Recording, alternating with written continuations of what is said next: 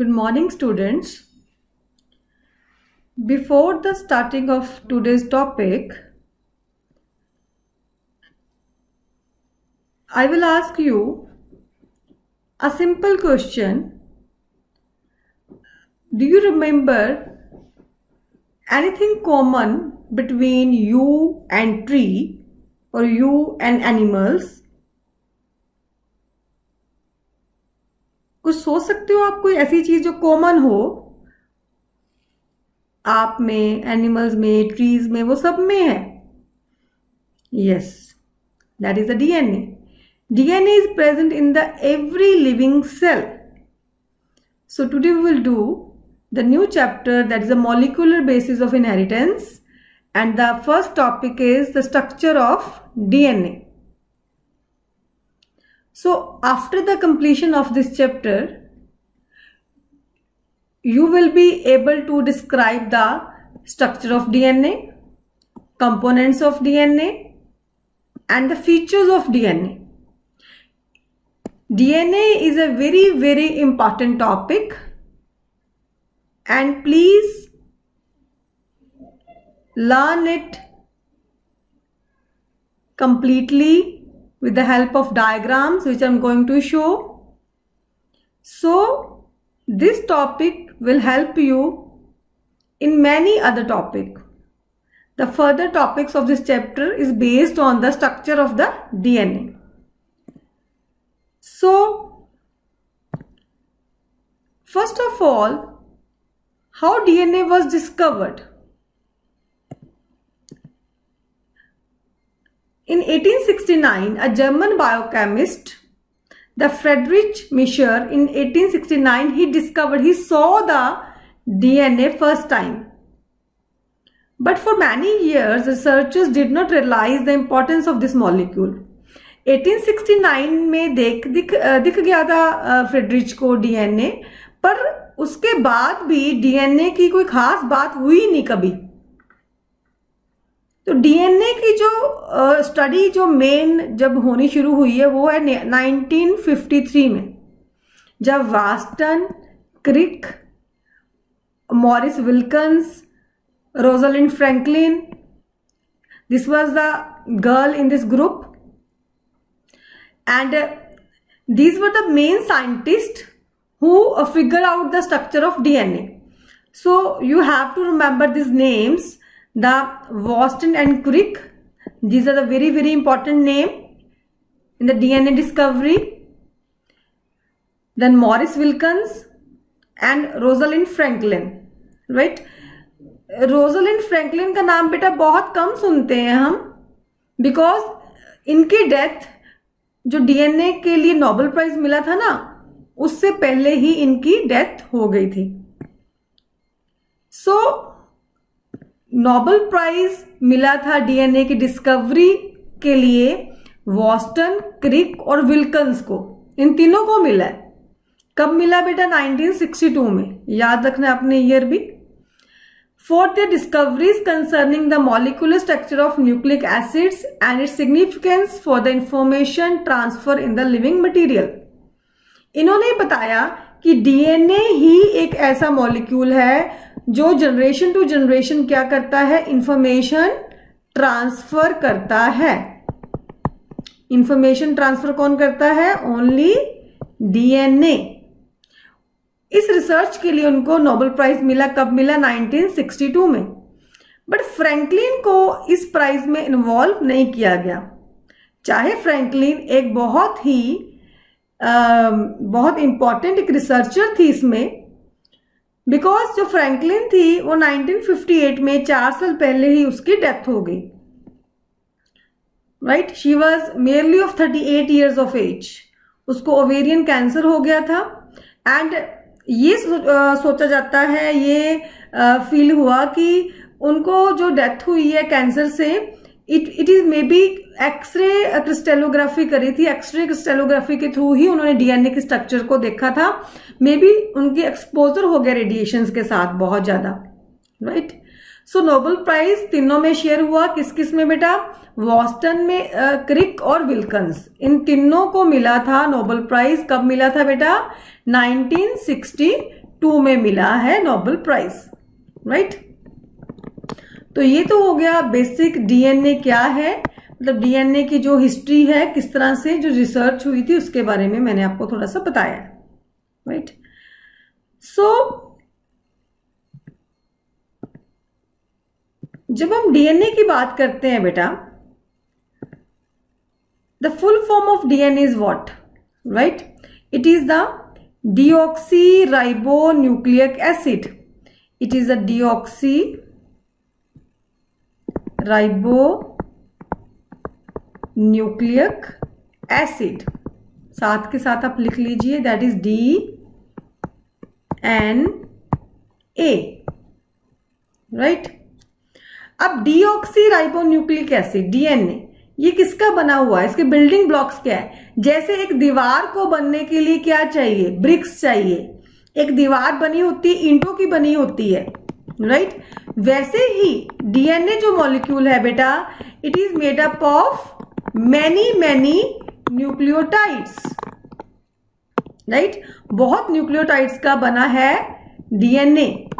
So DNA is made up of nucleotide so जब एक से ज़्यादा मैनी न्यूक्लियोटाइड्स मिल जाते हैं तो क्या बन जाता है? This is called poly many means poly is called poly nucleotide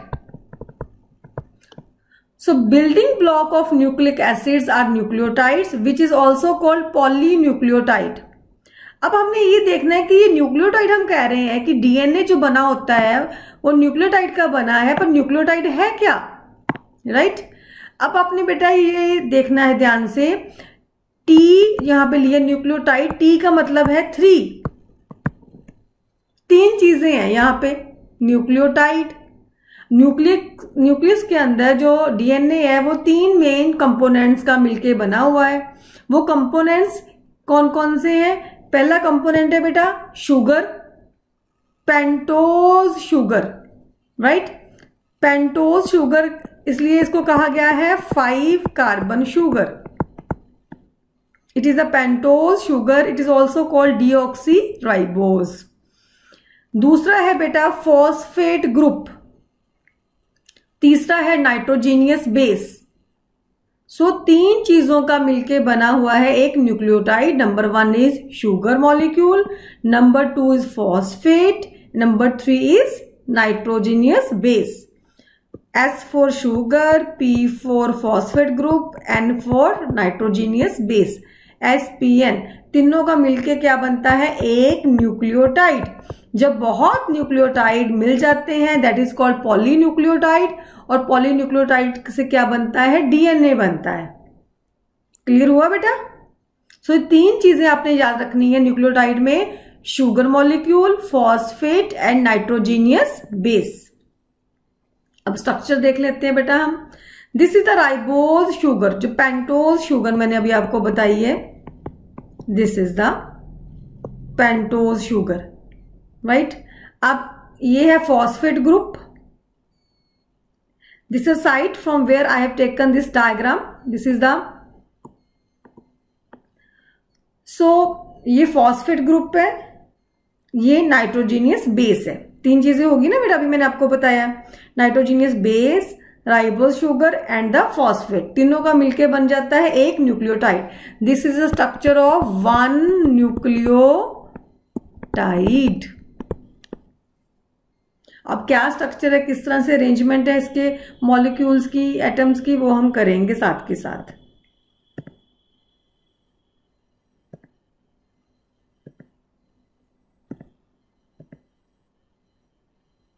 right right? So so, अब हमने क्या करा है बेटा? अभी मैं बात कर रही हूँ आपसे डीएनए की राइट डीएनए की फुल फॉर्म अभी मैंने आपको बताई है क्या है? डिओक्सी राइबो न्यूक्लियर एसिड ये बताया ना मैंने? अब बेटा डिऑक्सी राइबो में मैंने कहा, ये क्या है? एक डिऑक्सी मतलब डी ऑक्सी मतलब क्या है? इसमें एक ऑक्सीजन कम है। ये मतलब हुआ ना डी मतलब निकली हुई ऑक्सीजन अब कहा, अगर हम ये देखिए, बेटा, ये जो स्ट्रक्चर है this is a very important structure ये डिओक्सी राइबोस की स्ट्रक्चर है। इसमें क्या है? This is a pentose sugar अभी बताया ना फाइव कार्बन शुगर है। पाँच कार्बन किस तरह से हो गए बेटा? ध्यान से ये डायग्राम आपने ड्रॉ भी करनी है। अभी आप इसको ना देखो। Don't look at this structure अभी रुक जाइए थोड़ी देर के लिए। लुक एट दिस स्ट्रक्चर अब इसमें क्या है बेटा? एक तो ये कार्बन है number one number two this is a carbon number three carbon number four carbon and this is a number five carbon so यहाँ पे क्या है? पाँच कार्बन है. Right right? अब आप देखिए, पाँच कार्बन है, इसलिए हम इसको क्या कहते हैं बेटा? पेंटोज शुगर पर मैंने तो इसका क्या नाम रखा है अभी? डिऑक्सीराइबो शुगर ये बोला है मैंने अभी आपको। तो वो कैसे है?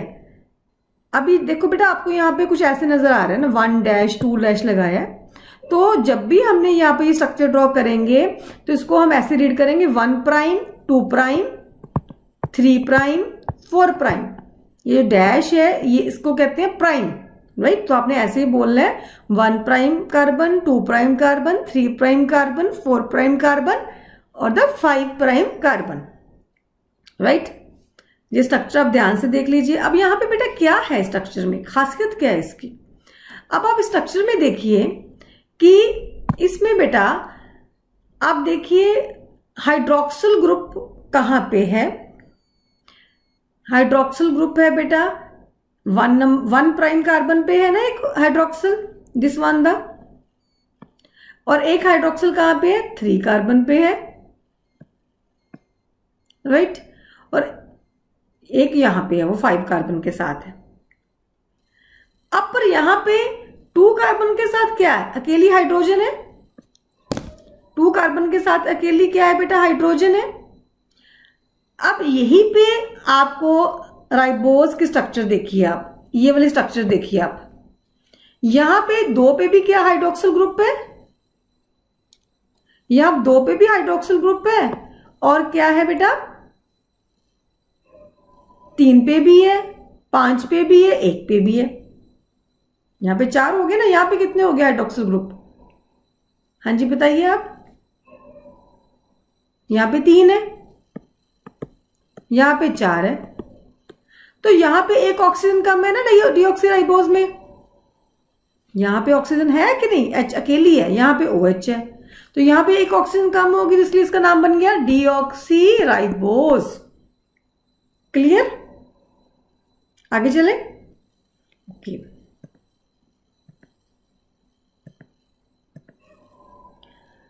अब हम बेटा देखेंगे, अभी तो मैंने आपको न्यूक्लियोटाइड के बारे में बताया। अब हम देखते हैं न्यूक्लियोटाइड और न्यूक्लियोसाइड में क्या डिफरेंस है। बहुत इजी है ये भी। न्यूक्लियोटाइड मैंने अभी आपको बताया, उसमें एक नाइट्रोजन बेस होगा, एक पेंटोज शुगर है, एक फॉस्फेट ग्रुप है।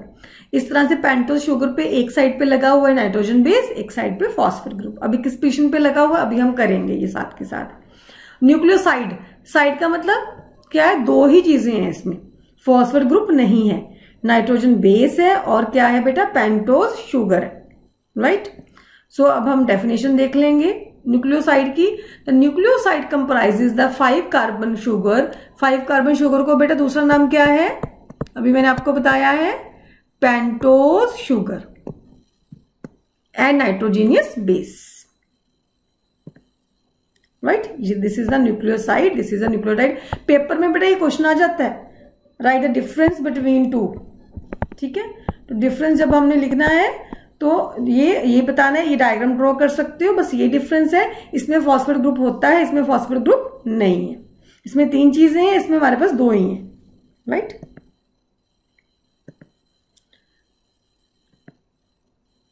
अब हम बात करेंगे बेटा, हमने बार बार अभी हमने देखो बेटा पेंटोस शुगर के बारे में तो स्टडी कर लिया। अब हमने बहुत ही इंपॉर्टेंट है नाइट्रोजन बेसिस के बारे में पढ़ना। अब बेटा देखिए जो नाइट्रोजीनियस बेस है, वो डीएनए में दो तरह के होते हैं। एक होता है प्यूरिन, दूसरा है पिरामिडिन अब इसको याद कैसे करना है? दो ग्रुप्स हैं प्यूरिन्स एंड पिरामिडिन्स जब हम याद करते थे, वो भी मैं आपको बता देती हूँ। जो पिरामिडिन्स है, उसको लिखते हैं C U T cut purines को लिखते हैं ए जी आलू गोभी C U T cut purine ठीक है, इसमें ये आप मतलब सोच सकते हो, ऐसे अपने एक मेमोराइजेशन के लिए लर्निंग के कुछ स्किल्स होते हैं, वो हम कई बार यूज़ करते हैं। मैं क्लास में बच्चों को बताती रहती हूँ बेटा आपको। आलू गोभी में हम प्यूरी डाल लेंगे, टमाटो की प्यूरी। प्यूरिन्स एची पिरेमिडीन ये थोड़ा लंबा है तो इसमें वर्ड तो इसमें ज़्यादा है। सी यू टी कट तीन चीज़ें हैं इसमें। राइट ये लर्न करने के कुछ तरीके हैं। वो आप देख लेना। सो प्यूरिन्स बेटा, दो तरह के हमारे नाइट्रोजन बेस है, हमारे पास प्यूरिन्स एंड पिरामिडीन्स प्यूरिन में आगे दो दो तरह के नाइट्रोजन बेस आएँगे एडेनिन एंड गुआनिन जिसको ए और जी बोलते हैं. पिरामिडीन में तीन तरह के होते हैं बेस साइटोसिन यूरासिल थायमिन ये नाम याद करने C for cytosine U for uracil and thymine इनको बोलते हैं पिरामिडीन अब बेटा, आपने ये बात देखो ध्यान से देखनी है. कि जब भी डीएनए में नाइट्रोजन बेस लगते हैं, कभी कभी भी डीएनए में प्यूरिन प्यूरिन नहीं जुड़ेंगे। हमेशा एक प्यूरिन, एक पिरामिडिन के साथ ही बॉन्ड बनाएगा। जो एडेनिन है, वो बॉन्ड बनाएगा थायमिन के साथ। और ग्वानिन बनाएगा साइटोसिन के साथ। और एडेनिन और थायमिन में हमेशा होगा डबल बॉन्ड और ग्वानिन और साइटोसिन में हमेशा होगा ट्रिपल बॉन्ड ये आपने याद रखना है। ठीक है बेटा?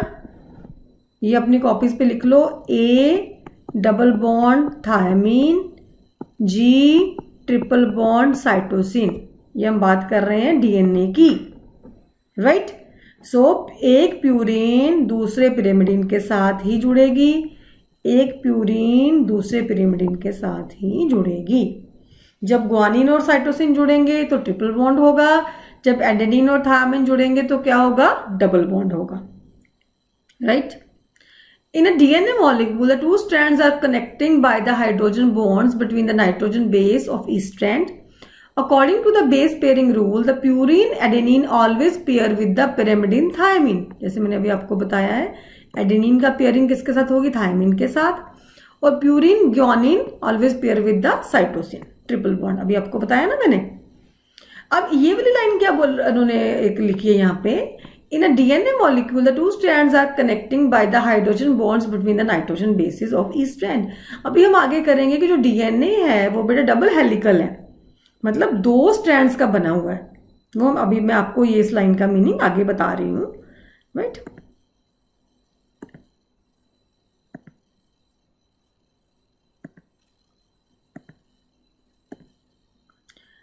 in DNA molecule the two strand are connecting by the ये मैंने अभी जो पीछे किया ना, वो रिपीट हो गया है।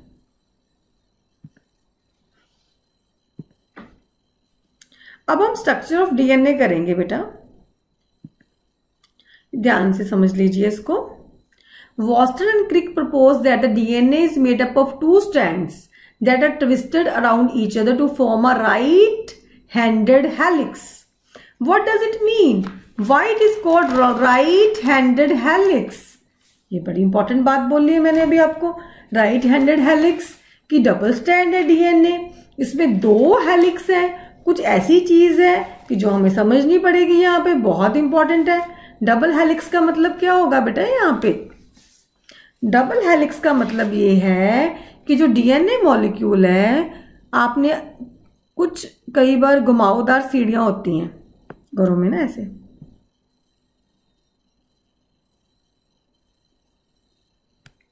राइट? तो यहाँ पे देखिए, ये एक हेलिक्स है, ये दूसरा स्टैंड है, राइट? राइट हैंडेड ये इस तरह से ही इसकी टर्न आ रही है राइट ट्विस्ट का एक दूसरे के ऊपर ट्विस्टेड है ये, जैसे लेडर होती है, जैसे सीढ़ी होती है। अब इसमें क्या है बेटा, एक स्टैंड दूसरे स्टैंड के साथ जुड़ा हुआ है, पर यहाँ पे क्या लगे हुए हैं? बेस ए के साथ क्या लगेगा? टी जी के साथ क्या लगेगा बेटा? सी यहाँ पे क्या होगा? ट्रिपल बॉन्ड या होगा डबल बॉन्ड यहाँ पे भी ऐसे हो सकता है। यहाँ टी आ गया। तो यहाँ पे क्या आ गया? ए राइट यहाँ पे जी यहाँ पे सी तो इसी तरह से ये बॉन्डिंग होगी बेटा। ए की टी के साथ सी की जी के साथ। एक चीज़ आपने देखी बेटा, यहाँ पे जो नाइट्रोजन बेस है, वो इस स्ट्रैंड के, दो धागों के, दो लेडर के जो है साथ में अपनी सपोर्ट होती है सीढ़ी की, सीढ़ी ऐसी होती है ना? ये सीढ़ी है आपकी। सीढ़ी का एक ये वाला डंडा है, एक ये है। इट मीन्स ये क्या है? बैकबोन है। इसको कहते हैं बैकबोन किसकी सीढ़ी की बैकबोन नहीं? ये डीएनए की बैकबोन है। ये सेंटर में क्या है बेटा ये वाला? ये नाइट्रोजन बेस लगे हुए हैं, जो मैंने यहाँ पे बनाए हैं अभी। यहाँ पे क्या नाइट्रोजन बेस लगे हैं।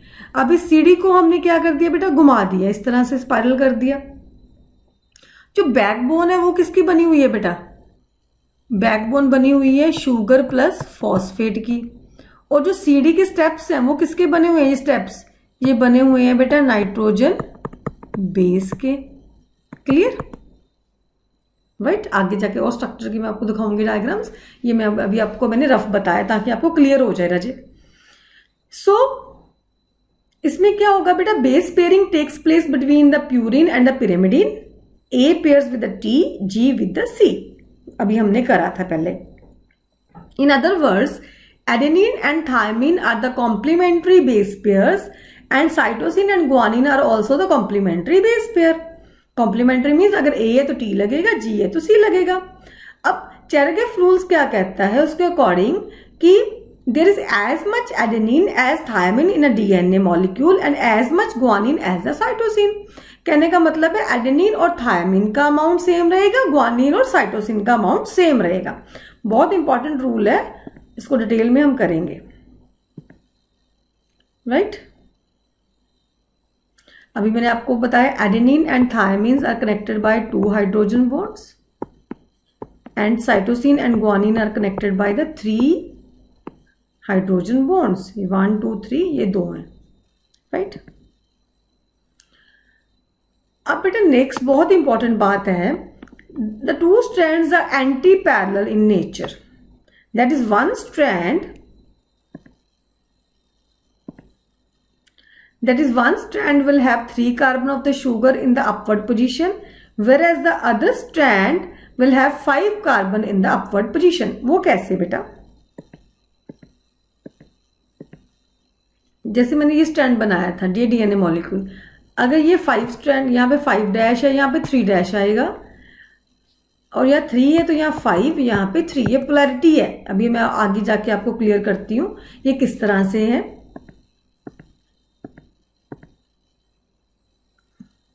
The diameter of D N A double helix uniform throughout because a purine always pair with the pyrimidine and their combined length are always equal right क्योंकि वो हमेशा एक दूसरे को पेयर करते हैं। ये देखिए डायग्राम आप ध्यान से। अब इसमें आप देखिए बेटा रेड को थायमिन दिखाया गया है ग्रीन को एडेनिन फिर पर्पल गुआनिन और जो लाइट ग्रीन है साइटोसिन अभी आप देखिए थायामीन किसके साथ पेयरिंग हो रखी है? एडेनिन के साथ। राइट और साइटोसिन की किसके पेयरिंग है? गुआनिन के साथ। राइट ये दिखाएगा ना, ये ये अपने ट्रिपल बॉन्ड है। तीन डॉट शो करी हुई हैं। यहाँ पे दो शो करी हुई हैं। राइट ये इन्होंने बॉन्डिंग की तरफ़ अभी हमने ये देख लेते हैं। यहाँ पे हम खुद भी ड्रॉ कर सकते हैं बॉन्डिंग तो। ये डबल बॉन्डिंग होगी। अभी ये green means adenine red means thiamine purple is guanine green is again cytosine triple bond so so, इस तरह से बेटा अंदर क्या होंगे? नाइट्रोजन बेस बाहर क्या है? ये जो बोन है ये बैक बोन है वो किसकी बनी हुई है? शुगर और फॉस्फेट की राइट डी फोर डिओक्सी ये जो है this is deoxy sugar and P four sorry this is the blue is the phosphate sugar and the D is this blue dark blue is the this is deoxyribose sugar ये backbone है। Right? DNA is too small to see, but under a microscope, it looks like a twisted up ladder. जैसे हमने एक letter है सीढ़ी घुमावदार सीढ़ी होती है, उस तरह से लगता है डीएनए मॉलिक्यूल अगर हम इसको देखें। राइट तो यहाँ पे इस तरह से लगेगा, अगर हम इसको देखेंगे। राइट ये फ्री एंड्स होते हैं यहाँ पे। तो इसकी डायग्राम आप साथ के साथ अपने ड्रॉ भी कर लेनी है।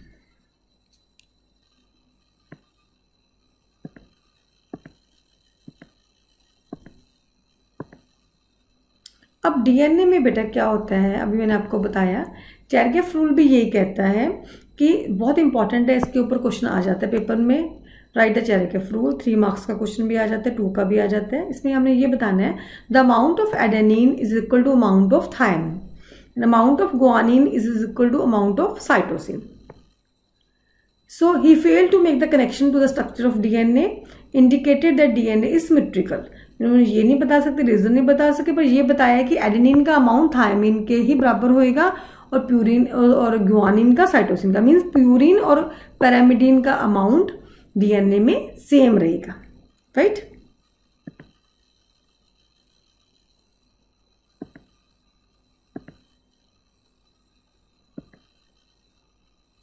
अब हम करेंगे different types of bonding in the polynucleotide chain अब देखिए, जो डीएनए का मॉलिक्यूल है, वो इतना स्टेबल क्यों है? क्योंकि उसमें क्या है? बॉन्डिंग है। ठीक है? बहुत ही अच्छी उसमें बॉन्डिंग है। राइट कौन कौन सी बॉन्डिंग है? नंबर वन फॉस्फोएस्टर बॉन्ड कि शुगर और फॉस्फेट मॉलिक्यूल आपस में ज्वाइंट है।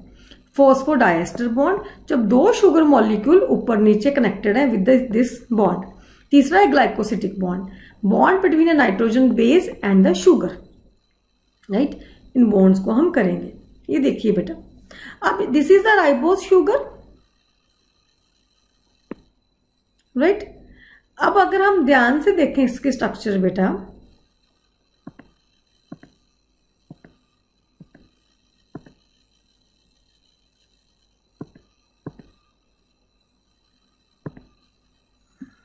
this is the pentose sugar यहाँ पे लगा हुआ है फॉस्फेट ग्रुप ये ये nitrogen base so this is a one nucleotide hmm और इसमें क्या है बेटा? ये है सेकेंड न्यूक्लियोटाइड अब इसमें क्या है? ध्यान से देखिए स्ट्रक्चर को. इसमें क्या है? Bond between the phosphate group and the sugar in a polynucleotide molecule ये क्या है? ये फॉस्फेट ग्रुप है. एक फॉस्फेट ग्रुप है इसका, यहाँ पे अटैच है इस कार्बन के साथ, एक इसके साथ अटैच है। जब दोनों अटैच है with help of phosphodiester bond so कहने का मतलब है शुगर और फॉस्फेट के बॉन्ड को क्या कहेंगे? फॉस्फोडाइस्टर बॉन्ड जब दो शुगर मॉलिक्यूल आपस में मिलते हैं, पानी निकल जाता है तो फॉस्फोडाइस्टर बॉन्ड डेवलप हो जाता है यहाँ पे। दो शुगर मॉलिक्यूल के बीच with the help of phosphorus right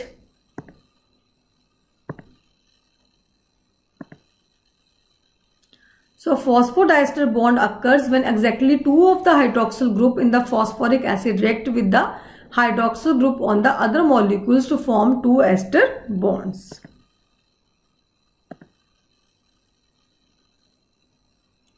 This bond is a key structural feature of the backbone of the DNA and the RNA. DNA और RNA में शुगर और फॉस्फेट जब मिल जाते हैं तो बेटा तो उसकी बैकबोन बनती है. दैट्स वेरी वेरी इंपॉर्टेंट ये बॉन्ड बहुत इंपॉर्टेंट है.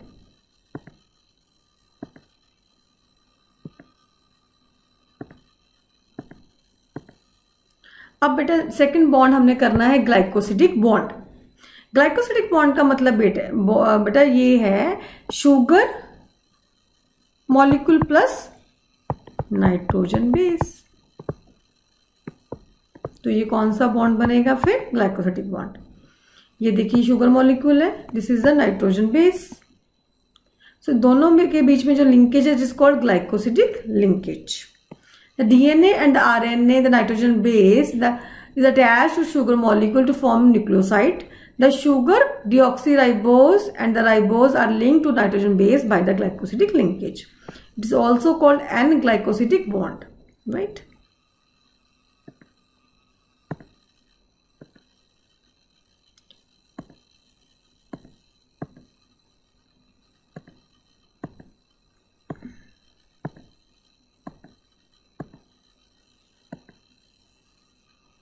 but the next is a very very important part of uh, this topic is the structure of DNA and the salient features of DNA. अब हमने जब DNA की हमने बात करी है अभी मैंने आपको बताया है कि जो डीएनए है बेटा तो उसमें this is double helix right centre में अगर हम कहें ये राइट हैंडेड हेलिक्स है the अब the base pair on the opposite strands are connected to hydrogen bond and forming a base pairs. अब यहाँ पे मान लो एडेनिन लगा है, यहाँ पे क्या लगेगा? Thymine right right?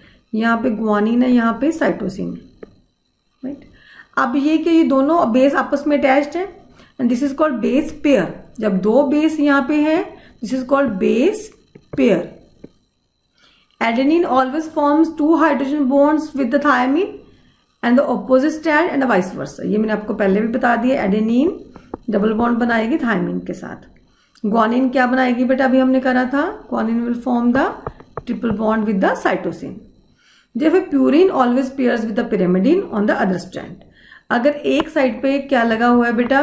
एडेनिन लगा है मीन्स प्यूरिन लगा है तो दूसरी साइड पे क्या लगेगा बेटा? यहाँ पे ये एडेनिन है प्यूरिन है तो यहाँ पे क्या होएगा? Thymine that is a pyrimidine right? Giving rise to uniform distance between the two strands of the helix. Next हमने करना है बेटा बहुत इंपॉर्टेंट नेक्स्ट फीचर है the two strands coil in a right handed fashion ये right handed coiled है बेटा each turn अब यहाँ पे देखिए ये टर्न है ये टर्न आई ये टर्न आई अब यहाँ से लेके यहाँ टर्न तक एक ग्रुप से लेके अगर दूसरे ग्रुप की हम बात करें यहाँ तक एक सो so, ये एक ग्रुप ले लो यहाँ तक ले लो है ना? ये वाला चाहे डिस्टेंस ले लो चाहे ये डिस्टेंस ले लो each unit turn of the helix is three point four nanometre इसका जो डिस्टेंस है बेटा ये आपने याद रखना है पेपर पे कई बार क्वेश्चन आ जाता है इसके ऊपर कोई न्यूमेरिकल भी आ सकता है।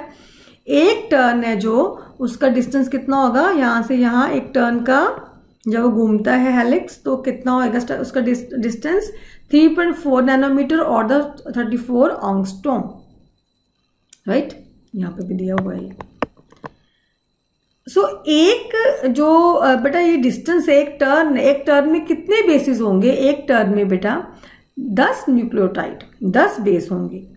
This nucleotide are a distance of point three four nanometre तो इसमें डिस्टेंस कितना हो गया? अगर एक में दस है, दो न्यूक्लियोटाइड का आपस में डिस्टेंस कितना हो गया? Point three four nanometre right ये थ्री पॉइंट फोर था ना बेटा? डिवाइडेड बाई टेन कितना हो जाएगा? Yes point three four nanometre so अगर यहाँ पे कितने हैं? टेन बेस पेयर है। हम्म? तो ये वाला, ये बहुत इंपॉर्टेंट है। ये वाला पॉइंट बहुत इंपॉर्टेंट है। ये आपने लर्न करना है इसका। राइट नेक्स्ट हम करेंगे बेटा। The helix is stable because of the base pairs that stacks over one another and hydrogen bonds that holds the base ये कहते जो डीएनए का हेलिक्स स्ट्रक्चर है, ये इतना स्टेबल क्यों है? क्योंकि जो स्टैकिंग हो रखी है, एक के ऊपर एक सिस्टमेटिकली बेस पेयर लगे हुए हैं। स्टैक्ड है राइट आराम से वहाँ पे वो स्टैक्ड है, वो रखे हुए हैं। और उनका आपस में कौन सा बॉन्ड अभी मैंने बताया। हाइड्रोजन बॉन्ड है एडेनिन डबल बॉन्ड है थायमिन के साथ और ग्वानिन ट्रिपल बॉन्ड है साइटोसिन के साथ। ये बॉन्ड्स इसको बहुत ही स्टेबल बना देते हैं। अब हम करेंगे बेटा बहुत इंपॉर्टेंट फीचर है that is the that is the antiparallel nature now what is the anti-parallel nature of the DNA? The anti-parallel nature of the DNA, what does it mean? देखो मैंने अभी आपको बताया था जब हमने स्टार्टिंग करी थी कि जो डीएनए का एक स्टैंड है और डीएनए का दूसरा स्टैंड है वो जो रन कर रहे हैं, वो एंटी पैरल कर रहे हैं। उनके डायरेक्शन क्या है? एक दूसरे से डिफरेंट है। अगर यहाँ पे फाइव डैश एंड है तो यहाँ पे क्या होएगा? थ्री डैश अगर यहाँ पे फाइव डैश यहाँ पे थ्री डैश ताकि वो ऑपोजिट है। D N as compose of two strand of nucleotides held together by the hydrogen bonding the strand each run from five dash to three dash and run antiparallel In the anti-parallel strands and double strand DNA, the two strands run anti-parallel to each other and then what will happen? And in and in the anti-parallel nature, these both strands run to opposite sides. The phosphate backbone is located on the outside but the bases are present in the middle. Adenine forms the hydrogen bonds with thiamine and guanine with the cytosine. So, बेटा, ये क्या है ये double helix structure right double helix structure means कि यहाँ पे जो DNA stand है, उसकी जो क्या है कि जो दोनों स्टैंड्स हैं, वो एक दूसरे के एंटी पैरेलल ही रन करेंगे यहाँ पे जो इनकी जो जो पोलैरिटी है, वो डिफरेंट डिफरेंट रहेगी अब ये पोलैरिटी डिफरेंट डिफरेंट क्यों है राइट right? अगर हम थोड़ा सा बेटा पीछे जाएँ ताकि आपको मैं और क्लियर करना चाहती हूँ ये टॉपिक अब अगर हम इसका हम्म, मैं आपको बेटा एक पहली स्लाइड दिखाना चाहती हूँ प्लीज़ आप वेट करिए दो मिनट यस यहाँ पे देखिए बेटा ये फाइव डैश एंड है राइट अब यहाँ पे क्या होगा? यहाँ पे एक और दूसरा मोलिकुल आके लग जाएगा ना? ये जो यहाँ पे है ये फाइव डैश है यहाँ पे आके क्या होगा? तीन कार्बन है यहाँ पे दूसरा मोलिकुल लग जाएगा आगे फॉस्फेट ग्रुप लग जाएगा दूसरा डिऑक्सीराइबोज शुगर आ जाएगा ऊपर यहाँ पे भी नीचे आ जाएगा। सो so, एक साइड पे क्या? एक end free five dash free रहेगा एक थ्री डैश फ्री रहेगा यहाँ पे। यहाँ पे क्या होगा थ्री डैश फ्री रहेगा यहाँ पे फाइव डैश फ्री रहेगा। सो so, दोनों जो स्टैंड है उनके वो एंटी पैरल चलेंगे। उनके ऑपोजिट्स वाले जो एंड है, वो फ्री रहेंगे लास्ट वाले राइट right? जब हम आगे करेंगे नेक्स्ट टॉपिक में तो आपको इसको और क्लियर क्लैरिटी हो जाएगी। यहाँ तक आपने यही करना है बेटा। आज हमने क्या करा है? स्ट्रक्चर क्या है डीएनए का? तो हमने देखा स्ट्रक्चर में हमने ये देखा कि उसमें कंपोनेंट्स क्या है उसके, और उसके मेन हमने ये देखा कि उसका स्ट्रक्चर में स्ट्रक्चर कैसे फॉर्म होती है उसकी राइट सो आई होप आपको ये सारा समझ आ गया होगा। अभी बेटा आपने इसको अच्छी तरह से पढ़ लेना और नोट्स बना लो। अगर कुछ नहीं समझ आया तो प्लीज़ मेरे को पूछ लो आप। थैंक यू वेरी मच बेटा।